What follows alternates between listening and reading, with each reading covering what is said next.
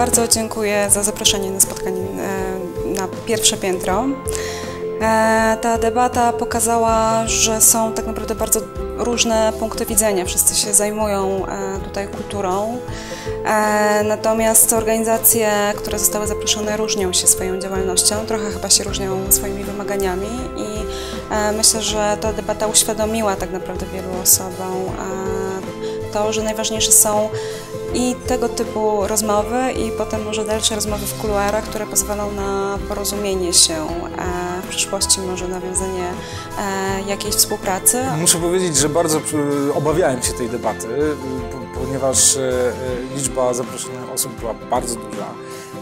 Wszyscy byli, reprezentowali różne, różne instytucje kultury, więc wiadomo było, że debata będzie polifoniczna, ale ostatecznie myślę, że E, że udało nam się e, powiedzieć e, bardzo dużo interesujących, ciekawych rzeczy. Debata dzisiejsza była rzeczą bardzo pożyteczną. Oczywiście debat jest mnóstwo i mają taką tendencję do tego, żeby mówić przekonywująco o rzeczach oczywistych. Natomiast myślę, jeżeli chodzi o kulturę, to mm, nigdy dość takiego zarówno diagnozowania w tym momencie stanu kultury polskiej, jak i w tym momencie to, o czym mówiliśmy, mecenatu.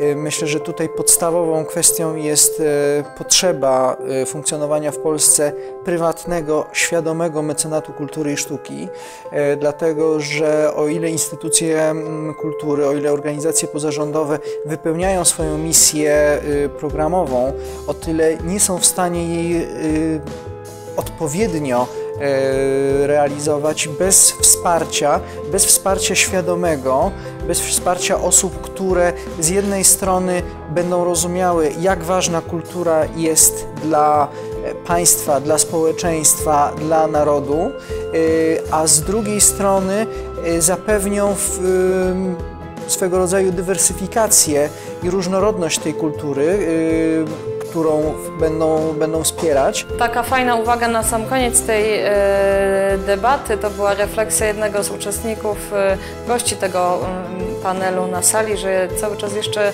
otwartym tematem jest e, skierowanie się tak naprawdę zapytanie tego klienta, który jest po drugiej stronie, na co on chciałby dawać te pieniądze, tak? Bo mamy różne rodzaje e, tego fundraisingu. Mamy ten fundraising korporacyjny, mamy fundraising czy tam E, tą dotacje czy granty państwowe, publiczne. Natomiast można przede wszystkim to, czego brakuje, to, to pozyskiwanie, przekonywanie darczyńców prywatnych.